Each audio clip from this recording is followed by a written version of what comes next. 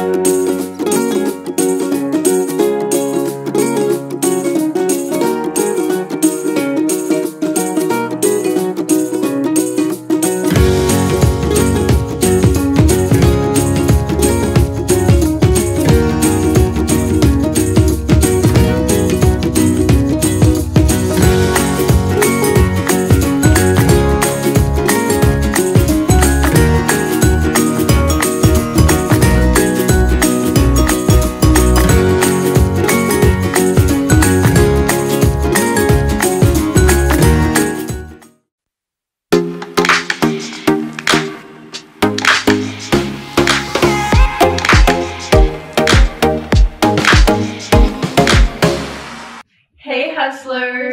Welcome to another episode of RRH, Raw Reality but Hustler. I'm Donna. And I'm Erika. If you're new here, we showcase local business owners, career professionals, and up and coming artists. We share their stories in hopes of inspiring people, sharing knowledge, and ultimately helping give exposure to them. If you haven't already, make sure you hit the subscribe button. It helps us a lot and you'll never miss an episode. Today we are here with Maya, as you guys can see. Hello. she is the owner, founder, main baker of Mima's Cuban Kitchen, a private catering catering business. And before we actually get into the questions, make sure you tune in at the end. We're going to be showcasing and sampling some of her most requested desserts. It's definitely what we're excited for. so, Maya, tell us a little bit about yourself. So, um, yeah, my name is Maya Campo. Um, I'm about to be 27 years old. Um, I am. I grew up in the San Fernando Valley, and I graduated from UC Merced back in 2015. And right out of college, I was a student athlete at UC Merced, and I had like a big sports background. But in my free time, I would bake. So I didn't take it seriously back then. It was just kind of something I, I did for fun.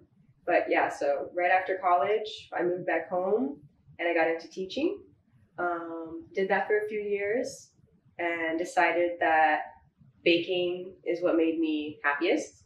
So I decided to finally pursue baking in 2019 and fast forward to 2021 and I'm here with my We're business. here. Now we're here.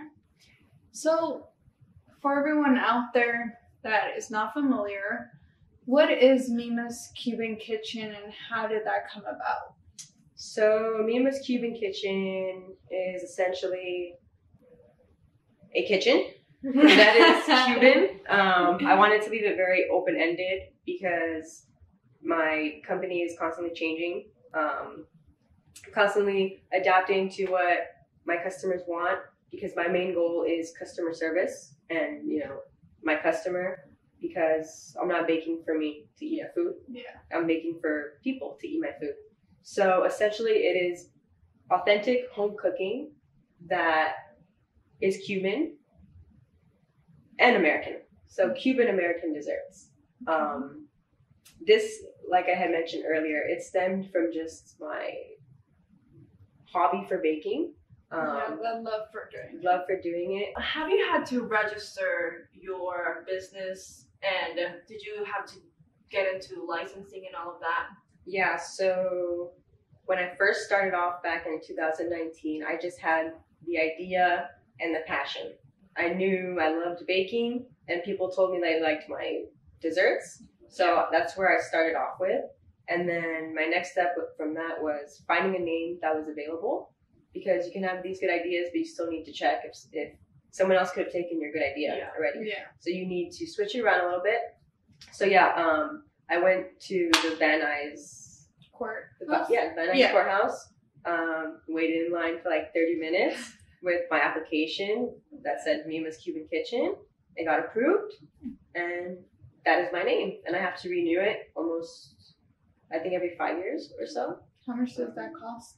It does not cost. Oh, It's- Really? You just own the name. I might have paid a small fee in the beginning. It was years ago. I don't Yeah. recall. But I'm not like paying anything to renew it. and what a So you just registered your name and then did you get other licensing or So if if I ever do events that are larger and they You do have ask to for get 'em. licensing, I have to do my baking through an approved kitchen um, Mm. that is licensed. If I do events out of private events, if I do events at farmers markets, it's the licensing through that through them. Every company is different, different licensing, different regulations and codes. Okay. So for now you just had to, you know, register your name. Yeah, correct. I just have my fictitious name. Uh, there's no LLC attached yet. Um, that's when I get my when I'm up to my Next next, level. Yes, Yeah. that comes along with when you want to go and start doing like a website for yourself Okay. and whatnot. Yeah. It's like the next level, next tier. Yeah. Okay. I know you're working from home, Mhm. but have you had to have a lot of startup costs? Um, so initially, when I started in 2019, I I did it for about eight months, and then the costs of the products that I needed to buy, Oh. the materials, they were catching up to me because then I needed to start buying like business cards. All of the expenses were adding up. Yeah. So that's when I stopped because my business, my my what is it called, um, the supply and demand wasn't balanced for me. Like So you weren't getting your return on investment. correct, like I wasn't making Yeah. enough money to be to keep people. investing into Yeah, it and putting yeah, more and Yeah, more because I was just starting off. Like I needed to buy certain pans that I didn't have it. when I at first. Like certain people, like now I do tres leches, but when I first started, I didn't have the stuff to, To even bake. those. Yeah, like yeah. certain things. So it's been a process throughout the years of me, you know, when I do get certain gigs, that that gig, the money made from that gig is literally reinvested into into okay, I need that pan. Okay, I need this thing so I can expand my menu. I can make Yeah. certain things because every dessert requires different different Yeah. Different equipment. Yeah. So at first it was digging a hole in my pocket, but if you care about some, something enough, it's not really a hole. It's Yeah. an investment. Yeah. So I was investing in 2019. Let's phrase it that way. and then I had to take a break because I had just quit teaching and I wasn't able to fund my own business anymore. So in that break, um, I was pursuing other things that weren't baking related, that weren't teaching related, but because I had established my baking business, people remembered who I was. And I started getting, when the pandemic hit, people were like, hey, do you still bake? And that's kind of where I'm at now because Started people remembered, oh, Maya bakes, Maya has a baking business. So I'm literally riding the wave of the demand Yeah. Okay. of desserts right now of Cuban desserts because Yeah. I think you can get a cookie anywhere. You can go to the drive five minutes and get a cookie. So the demand for Cuban desserts is getting popular, which is pretty cool. Yeah. So I'm riding the Cuban wave. Yeah. Just Yeah. going with it. I mean, Yeah. smart hmm for now. That actually segues into the next question when you said people there's a demand for your desserts, right? Mm-hmm. And uh, since 2019, how did you market and what were some of the marketing strategies that you Mhm. focused on as a startup? So as a startup, it was literally just me, my mom, and my tia. They had zero involvement in social media and marketing. They were more of like my support in the kitchen. So when it came to social media marketing, yeah, it was all me. And the way that I dealt with that is I didn't. I didn't do social media. I didn't do marketing. Instead, I formed relationships with people. Um, I did more of you know one to one to one interactions. I tell people literally everyday people that I meet, I'm a very friendly person. Like I just did my own personal relations, and like a lot of times that's how it happens, like super random. yeah. But the majority of my business right now is people I know who have been supporting me, and it's just been like Referrals. so awesome. Yeah. So people I know, and then from there I've gotten referrals. So that's the majority of my clientele. Okay. Like literally ninety percent, ninety five percent people I know, and the other five percent are like, oh my god, people who have had parts of uh, the desserts that they've had. They're like, oh, I would like to place an order. Yeah. Um, even though I know social media is important, um, I just haven't been able to do that yet. Expand Yeah. myself that far.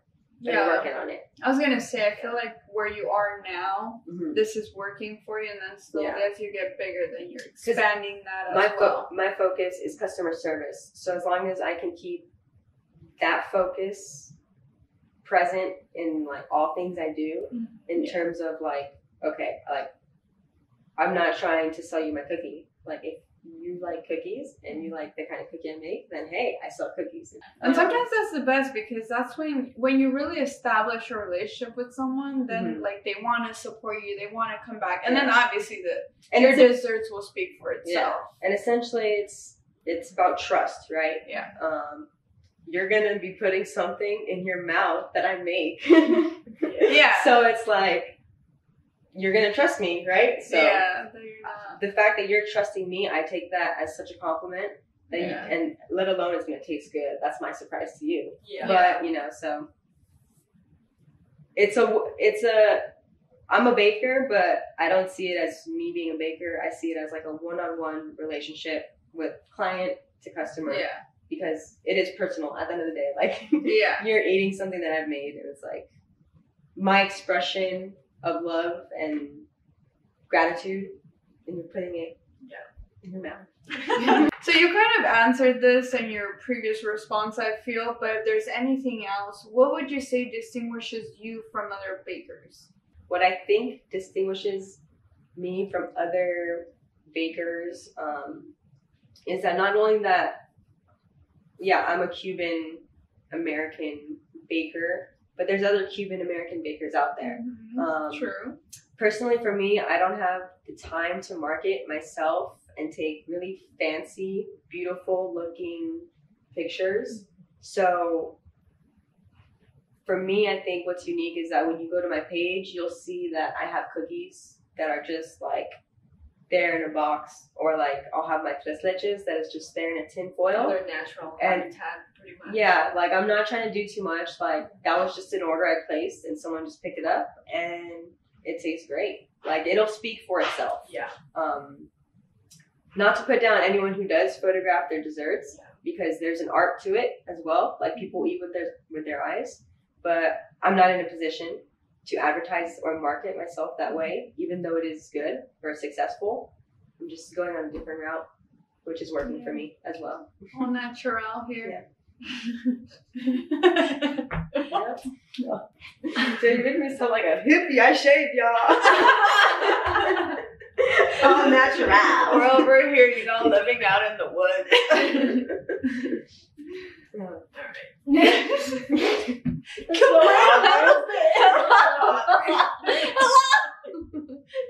Can you kind of touch on, you know, being a startup business? What are some of the hardest things that you went through starting out? Some of the hardest things that I went through were probably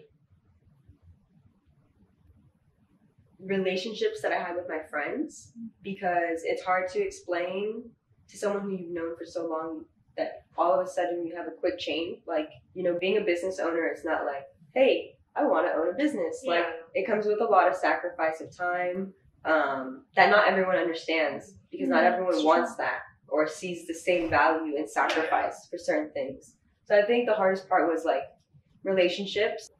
I think it was coming from a good place from them, but that was the biggest issue I had actually was uh, friendships and relationships, Yeah. like trying to balance them because I had to sacrifice the little time that we did have in the pandemic or or post pandemic to reconnect.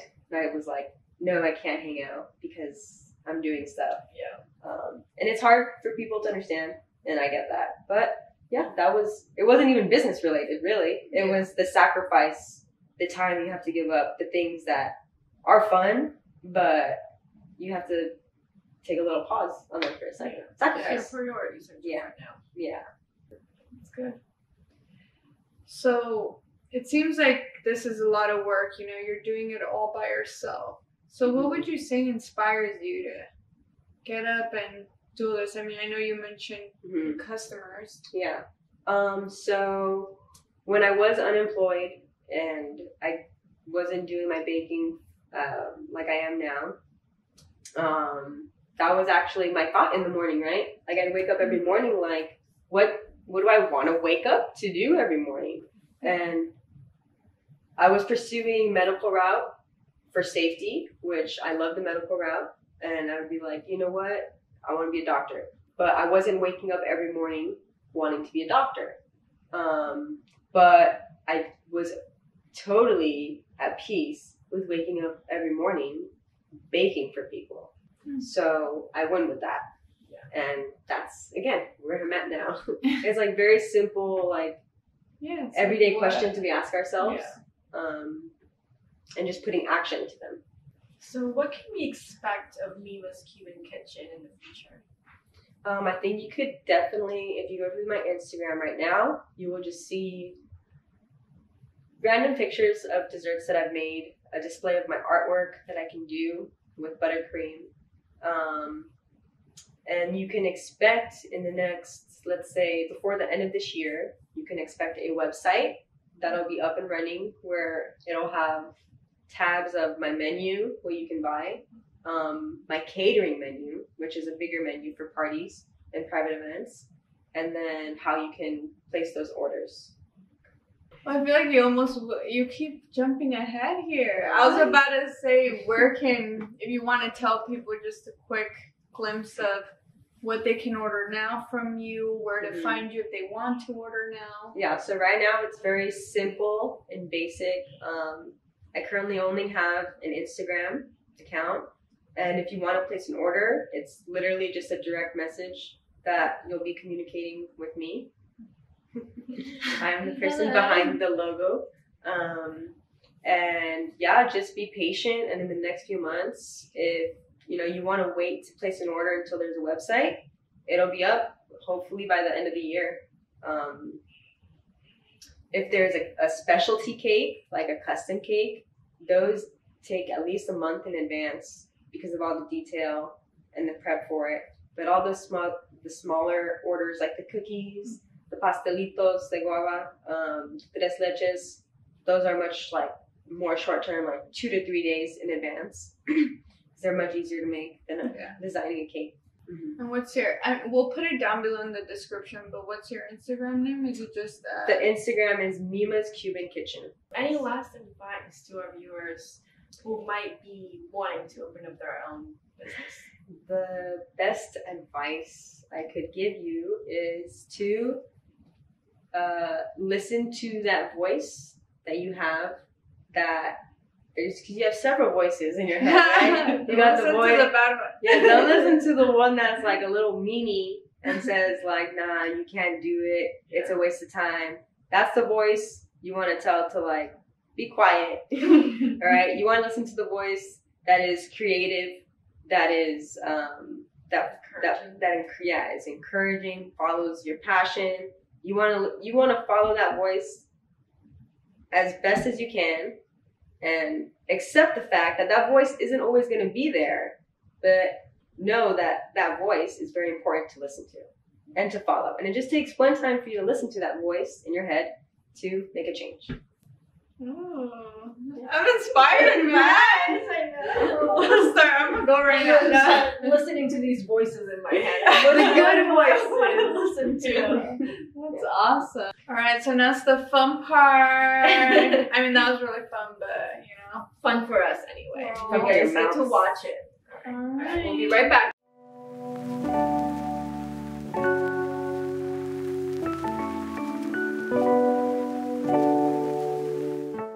So, Maya, tell us what we have here. So, ladies and gentlemen, we have your pastelitos de guava, you have Cuban style flan, and also Cuban style tiramisu. And I just say Cuban because the ingredients have been slightly altered to have a more Cuban, uh, yeah, Cuban flavors to it. Yeah. Nice. So the first one they're going for is the tiramisu. Okay, the top of that has chocolate shavings. It has cocoa powder. It has lady fingers. And- fingers. It has a mascarpone Mm-hmm. and many few other things in it. How is it, ladies? Really good. Oh, and it has Very a, a nice moisturized. uh, kick of I tasted Rum. the rum. Yeah. I was like, but it's very soft and very um, Mm-hmm. not dry. Yeah, Yummy. creamy. That's really That's good. And you can taste the chocolate, which is a great balance. I actually really like tiramisu. I've had a bunch of tiramisus in my time. Mhm. This one is up there. Yes. Thank you. I appreciate that. This means a lot. The flan. Yeah. Okay, so this is a Cuban style flan because your typical flan is more is very sweet. Um, I think the typical flan bought here in California is like a Mexican style. Mm-hmm. Um, this is different just because the texture is not as custardy. It's a little thicker. It's almost like a cheesecake. It, it yeah, it's thick. Um, And like that bitter, yeah, and the, the bitter taste after. yeah, it has a bitter little Mhm. aftertaste um, that comes from the syrup. Mm. Yes. Cuban twist. Last but not least is pastelitos de guava. All right. These are just your a simple puff pastry bought at any market, really, with some guava in the inside. Mm-hmm. think for me, it's the ratio of guava to puff pastry, which I love about mine. Every bite, you get some bread and you get some Mm. guava. I like puff pastries. I'm a big fan of this one. Mm.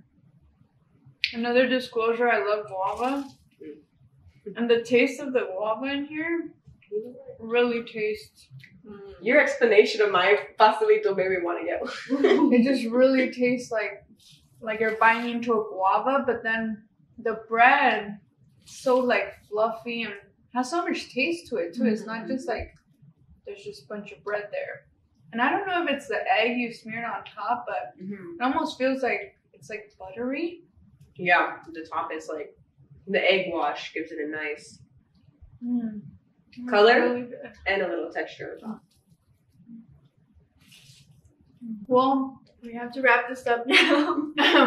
yeah, well, we'll finish these up behind the scenes, but you guys know where you guys can get your own tiramisu, flan, and pastelitos. I mean, Miss Cuban Kitchen and Tres Leches, we didn't try it, and my other favorite, chocolate chip cookies, man. Yes. Can't go wrong with those. Yes. Um, but I do want to give a huge, huge thank you to you. Maya for allowing us to come in here, for creating these so we can sample these, and just sharing her story and her knowledge with us. So thank you so much, Maya, for all your time. Thank you. Thank you, Being ladies. here. I appreciate your curiosity with my mm-hmm. business That's awesome. and your reviews of my business. Yeah. I'm glad you like them, mm-hmm. truly. We love that. Yes, people. Nice meeting you all, and maybe one day I can make you a dessert. nice. And we'll put this information down below as well. So mm-hmm. thank you guys for watching as well. And And we'll see you on the next one. Bye. bye.